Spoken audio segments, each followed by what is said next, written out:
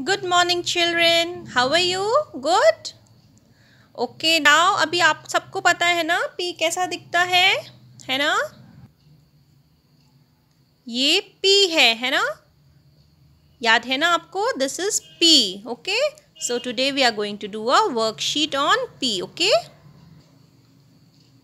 Now, before starting, we will put the date. Today is 22nd September 2020. ठीक है? और यहाँ लिखेंगे हम राइट में class work okay now let's do the exercise okay underline P in the words okay ये words हैं. ठीक है? जब लेटर्स मिल जाते हैं एक साथ तो वो वर्ड्स बनाते हैं. ठीक है? ये पूरा एक वर्ड है. ठीक है?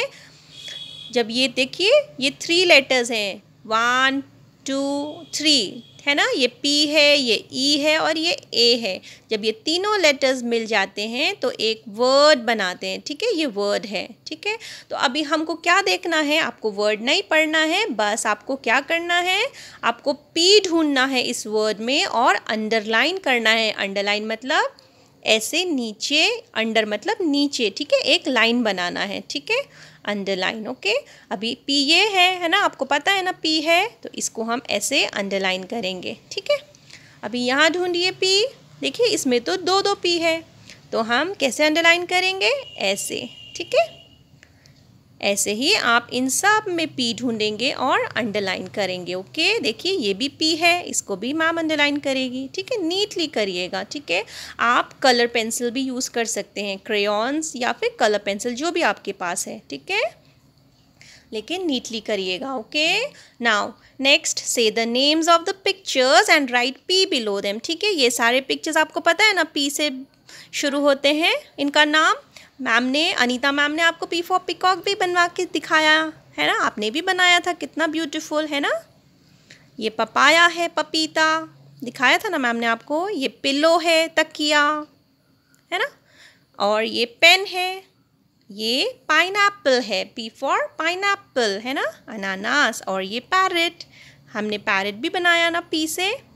आपको तो सब पता है वेरी गुड तो हम क्या करेंगे बेटा? अब हम इनके नीचे पी लिखेंगे, है ना? पी कैसे लिखते हैं? एक बार रिवाइज करेंगे. रेड लाइन से शुरू करेंगे. सेकेंड ब्लू लाइन तक एक स्टैंडिंग लाइन करेंगे ऐसे, ठीक है? और यहाँ से एक कर्व बनाएँगे जो टच करेगा हमारी फ़र्स्ट ब्लू लाइन को ऐसे. ये हमारा कैपिटल पी बन गया, ठीक है?